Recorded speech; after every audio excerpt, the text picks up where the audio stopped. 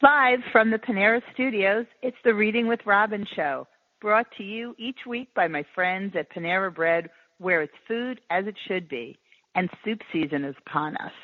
Panera Bread has some of my favorites, the creamy tomato, broccoli cheddar, and the vegetarian autumn squash. You can sense the pattern. I'm a vegetarian. Perfect for the chill in the air and that warm feeling inside. Getting mine for lunch today. Hope to see you at Panera Bread. Reading with Robin also brought to you by the Book Box. It's not too early to start thinking about that perfect holiday gift for the book lover in your life. A carefully curated box with the best books of the season, plus a few special treats, is the best gift ever. Please visit thebookbox.info. Again, that's thebookbox.info for more info. And now, enjoy the show. This is a thrill, and it is unbelievable that after all these years of hosting Reading with Robin, this is our first interview on, on a podcast. The author of some of my most treasured books. She's come undone. I know this much is true. We Are Water, and now a library pick for I'll Take You There. It's their November pick. Also, I'll Take You There, Wally's brand new book, A Reading with Robin 2016 favorite. Wally's an evening with authors alum. We had such a great time, and I can't wait to see him again this Thursday at Barnes and Noble in Warwick. Welcome to Reading with Robin Wally. Hey, Robin. Good to talk to you again. I, uh, I, and I'm looking forward to, to seeing you in Warwick as well. We will all be there in full force. We've been posting about it, and people that missed you, unfortunately missed you when you were here in October. I said, well, the good news is he's coming back for more of Rhode Island. So we're yeah, very like a bad excited. penny. the very best of the bad pennies, exactly. Oh, thank you. Thank and you. you're welcome. They do such a great job, and there's lots of room for everybody at Barnes and Noble. It starts at seven o'clock on Thursday, and it is really a treat to get to talk to you about I'll Take You There. And I understand the whole meta book thing. I'm so impressed that I figured out it's not complicated, but I remember when you were here sort of saying, you know, help us out, explain this. And for the listening audience, certainly explain this, but it is such a full experience. And I didn't realize that initially that's how it was coming out, and your fans were clamoring for a hard copy. Well, Metabook is a, a young company, and um, I met with uh, the publisher, Ken Simon, and he showed me the prototype. It was a, a, a Metabook version of uh, John Berendt's book from several years back, Midnight mm-hmm. in the Garden of Good and Evil, Oh, and yeah. I was so I was so wowed by you know what they did with the story in addition to the electronic text. Mhm. Um, that he said, "Would you write something original for us?" And I said, um, "Well, I'll give it a shot." And Wow. so I thought that this was just going to be a sort of a side project, a short thing. Uh, but you know, I never know where I'm going with my with my writing until I write it, Robin. Uh-huh. And it turned into a full blown novel. And then, um, you know, when when I announced that it was coming out as a meta book, you know, uh, people who like to read more traditionally were, you know, expressing their disappointment. So, um, so I said, well, we'll, uh, I'll see if Harper, my uh, usual publisher, would uh, would be interested in publishing that. So, um, hopefully, it's the best of both worlds for people who are, you know, tech inclined and people who are not. So you, Wally Lamb, give your readers and and the people that you surround yourself with so much of yourself, so even more with this. So you heard the cry of the people, and they said, and I'm thinking I'm calling it the meta book, so it's meta book. Now I sound like the Mhm. HBO.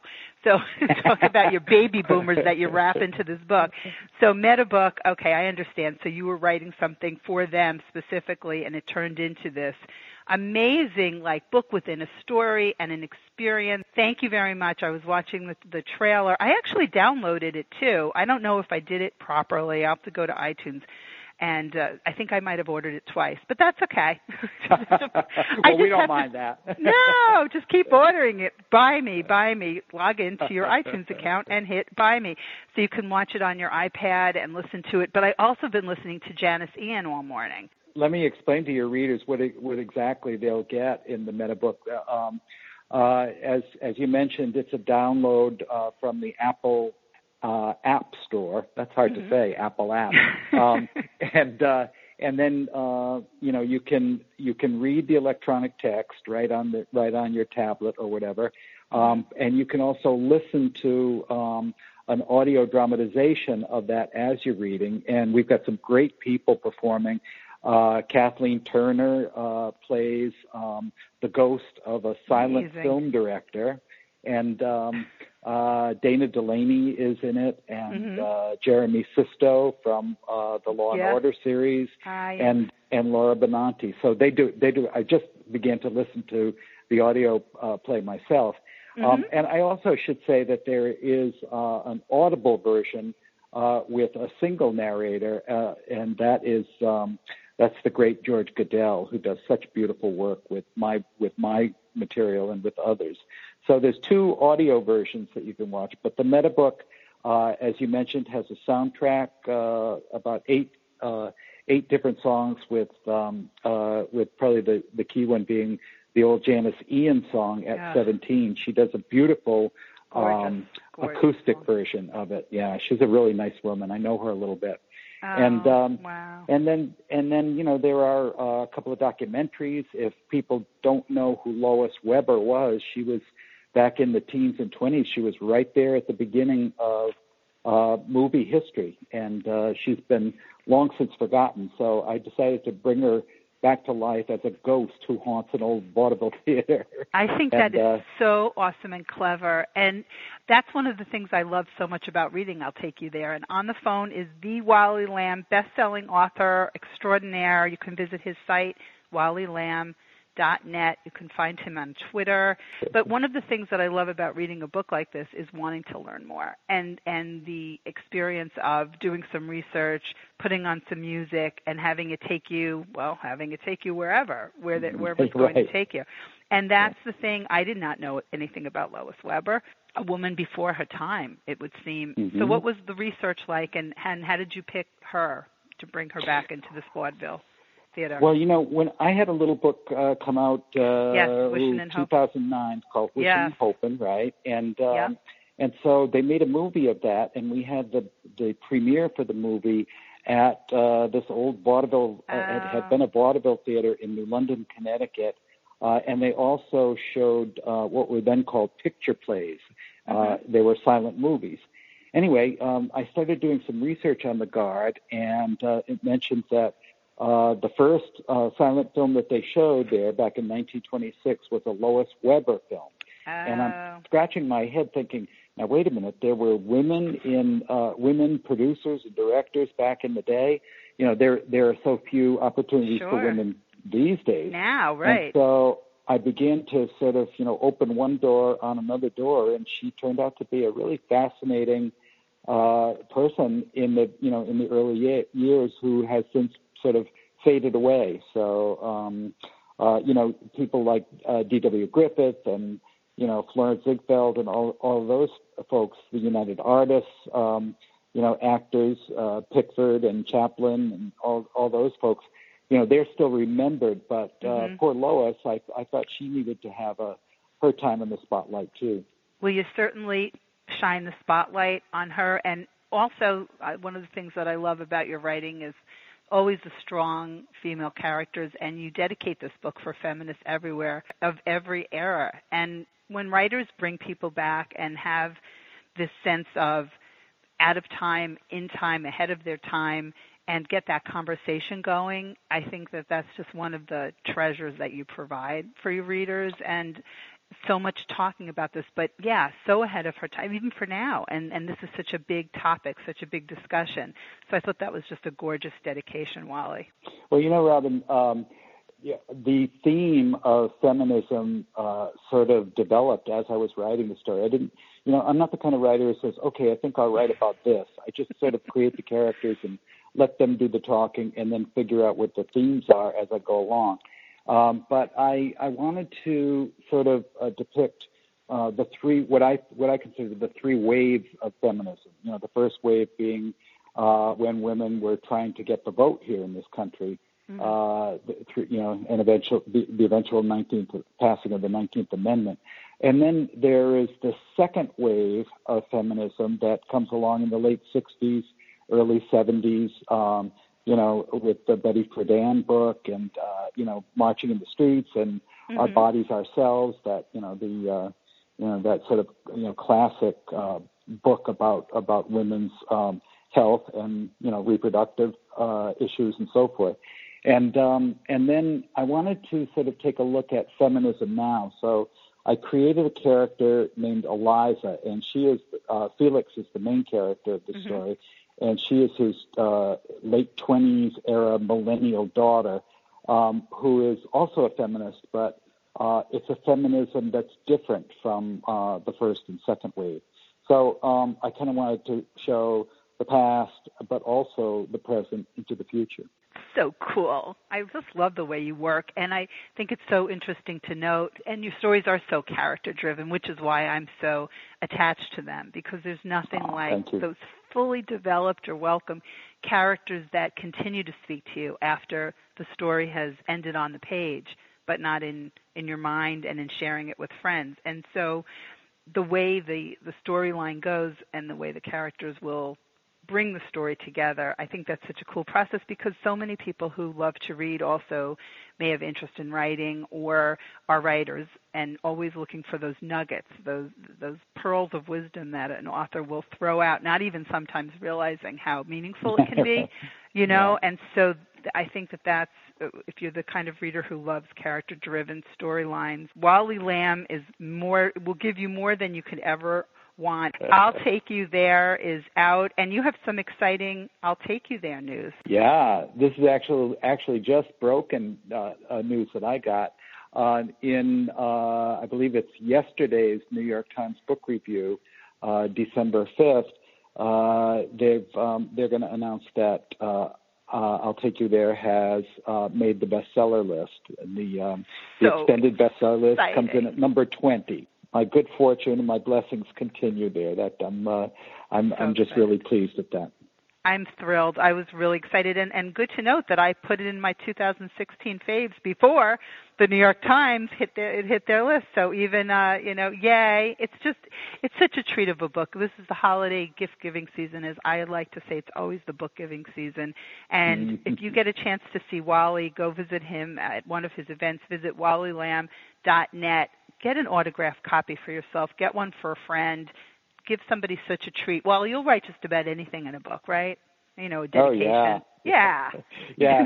sometimes sometimes a, a complete stranger will come up to me and say, "Could you write? I couldn't have written this book without you." I said, "Eh, what the hell? All right, I'd write that." Always giving the people what they want, and when your and your readers come up to you, I can only imagine the stories that are shared and the connections that people feel to your books. You mentioned um, Wishing and Hoping, and I didn't realize that they had made that into a Lifetime movie. So now yeah, mm-hmm. I've I've added that to my arsenal of things to do this winter. and I loved um, that you brought Felix Funicello back from Wishing and Hoping. When you wrote that small Christmas story, really, did you think yeah. that you'd bring him back, or uh, this no, story formed I, and he worked out time wise? How did you decide to do I that? I had I had no plans to bring him back, but um, you know, of all the, I, I don't usually write or create characters that have much to do with me personally. Mm-hmm. I like to write beyond my own experiences rather than about them. But I, I have to say that of all the characters that I've uh, created over the years, Felix is probably the closest to me. You know, we were, uh, you know, we were brought up in Eastern Connecticut, uh, Mhm. big Italian family. Um, I, uh, both I and Felix have uh, older sisters that. Uh, you know, loomed large in our Mhm. lives and so forth. So yeah, there's a, there's some tie-ins there. I love that, and I think you know that book took place in the 60s. I mean, so the timing just worked too, where you have um, Felix Funicello leading these film, uh, like a film series, like a film club, like a book club, but with Mhm. film in Mhm. this theater. That's right. And That's it's right. so it, it's so charming and clever, and you know, this is just like one of those kinds of books that you just want to tell everybody. It's like here's a treat. Mine is the one uh, I have the galley. That's the one that you signed. So that is my right. treasured. Uh-huh. That is Yeah. my treasured copy, and people will connect with this in so many ways. And one of the things that I loved on the meta book trailer that you said was the most valuable lessons in life are beautifully simple.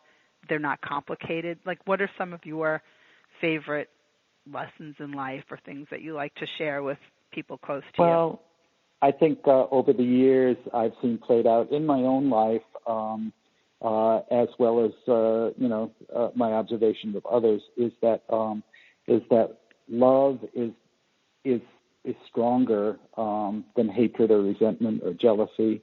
Um, mm. I I believe that um, uh, forgiveness is um, is key to a to a happy life.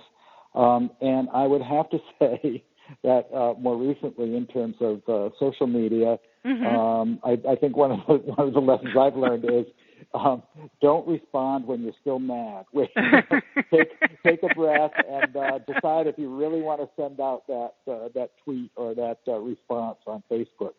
I I think that those are wise lessons: love, forgiveness, and take a deep breath. Those are my right. takeaways.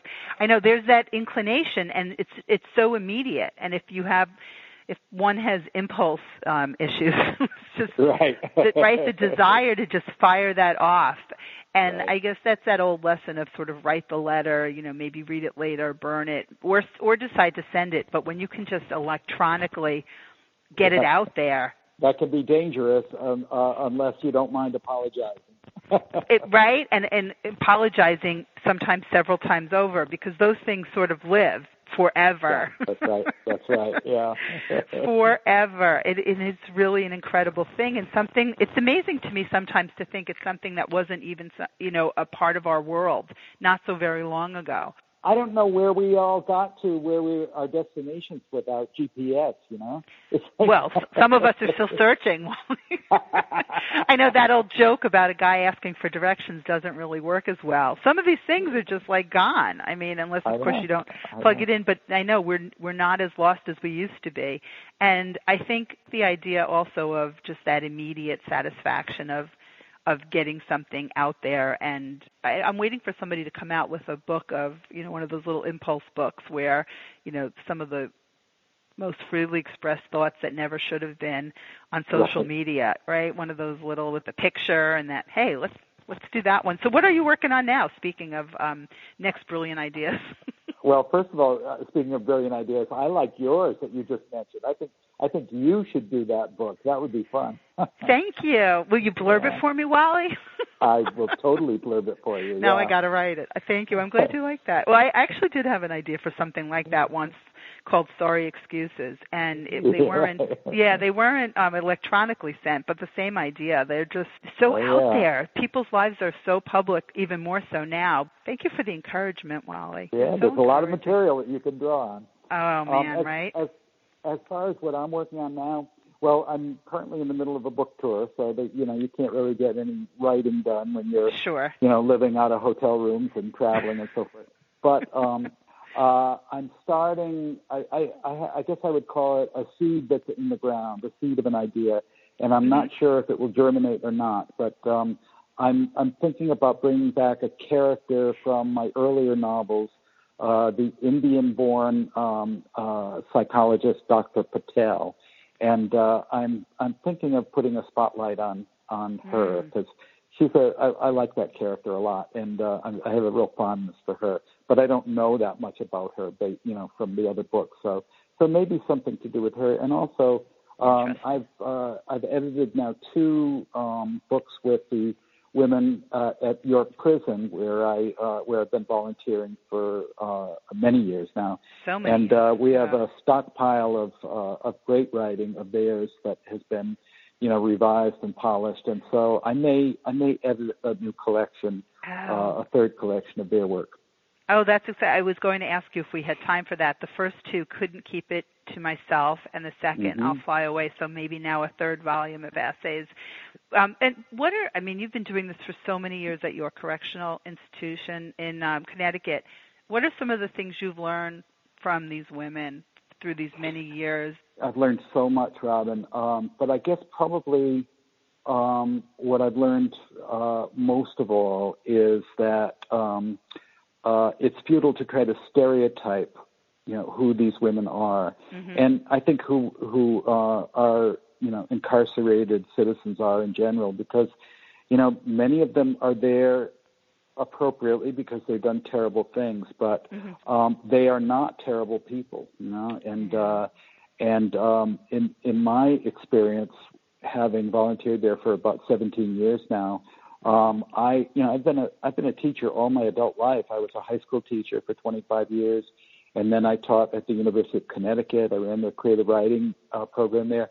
But um, I've never worked with students who um, are want as as want to get it right, want to get it better, uh, want to help other writers in the in the group and everything. So uh, wow. it's been a real it's been a life changing experience for me to work with these gals. It's just I can only imagine, and I think that it's a segment of the population sometimes people would rather just not think about or deal with and they have right. so much to say so much that people just don't know. And so these are collections that are available. Are they on i mean you, are they in the store on amazon? Go to wallylamb.net they're pretty much still available and they're they're getting used in a lot of uh college classes sociology mm-hmm. and uh you know uh women's uh women's issues and so forth. So um yeah they're uh they're around and they're available and the That's um great. i'm I'm happy to say that you know I keep in touch with the women who are fortunate enough to get out of prison, and I mm-hmm. think through their writing, um, they learn things about themselves. Most of it is personal writing, and uh, they learn things about themselves that will um, uh, will help them in avoiding uh, recidivism and going right, right, back to where they were. So um, I'm really proud of the women who have been in the program who have gotten out and gone on to be, um, you know, productive citizens and that's the goal after all. And so to learn from that and for them to learn from their own writing and from readers to be able to learn and that they're teaching it and including in sociology courses that has to be incredibly satisfying. You just don't know where your work takes people. I've met more people that have talked about your books and what they've meant to them and writing and some of your students through the years. The meta book experience for your own life is just could not yeah. encapsulate enough what your readers take from what you've shared and what I know the, the give and take is. People can go to wallylamb.net, find out where he'll be if he's going to be near you. Tomorrow night you will be at my favorite Barnes & Noble.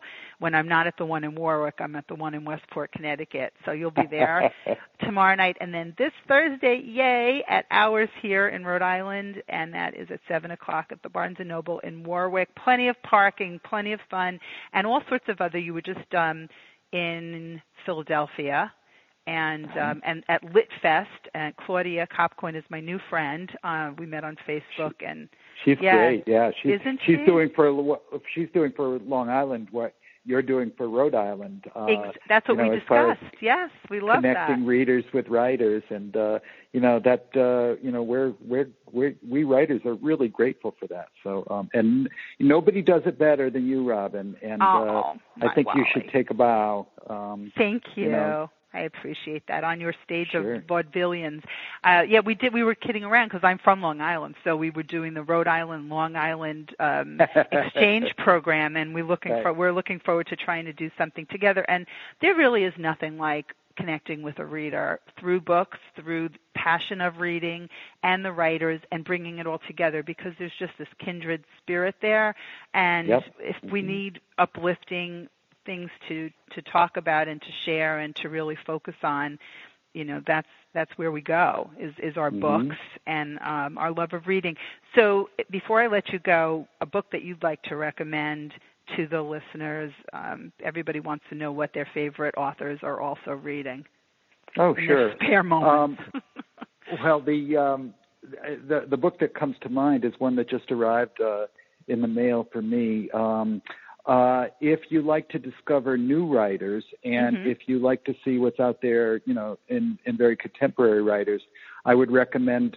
Um, it comes out annually. It's the Pushcart Prize, uh, an, an anthology of small press writing. Uh, that you know, the best of the small presses for the for the year from the year before. Oh, so um, they've just come out uh, with the uh, 41st edition of that. The uh, uh, the 20, I, believe it's 2017 um, collection, and they have short stories, they have uh, you know essays and uh, poetry, and some really beautiful stuff. And I like uh, I like sort of you know putting the periscope up and seeing you know who else is uh, who else is writing and who is going to be the next discovery that kind of thing. So I always enjoy reading that one every year, the Pushcart Prize. Okay, that's great to know. I and I like to get you get a sense of different writers, and there's something right. for everybody in those kinds of collections, and there are many authors included. So I just wrote that down, and I will yeah. include it with this because the last time that you mentioned a book, Kookooland, um, Gloria Norris uh, was so excited, and I when you were kind enough to write that beautiful description of, of the books that you liked for Evening with Authors, and right. Gloria's uh-huh. coming to read at Point Street because of that connection to you. Great. You know, oh, the, yeah. yeah you'll I mean, you'll really enjoy her, and your your uh, listeners will enjoy reading Kookooland. I'm so excited. The title alone, you had me at Kookooland. I mean, how could you not? you really had me at I'll Take You There. It's out by Wally Lamb. Visit his site, wallylamb.net, and go to, to Metabook and read all about what you can download and listen to and experience. And I loved seeing you there in the in the spotlight, and also the Facebook Live the other day you did at HarperCollins. That was so much fun. People loved that. Was that. a lot of fun for me. oh my goodness! I had so I just jumped on to say, "Hey, Wally," but it was just great seeing you sitting there on that stool and people were just sort of virtually sitting at your feet listening to you share stories and answer questions and uh yeah it was really great the energy that popped off the screen was um was just invigorating yeah at readings i love the q and a and uh that was sort of the uh you know social media version of the question oh i like that period. Yeah. Oh, good. Do you like that? All right. Well, make sure Katie Rendine knows lots of Q and A this Thursday at Barnes and Noble in Warwick. I will be there with my big smile on. So happy to see you again, and uh, enjoy the rest of the tour. Congratulations on the great news about the New York Times bestseller list. For all Reading with Robin listeners, go to wallylamb.net. Put "I'll take you there" on your list and get one for a friend. There's no better gift to give. Thank you so much, Wally. Robin, just keep on doing what you're doing it because you do it right.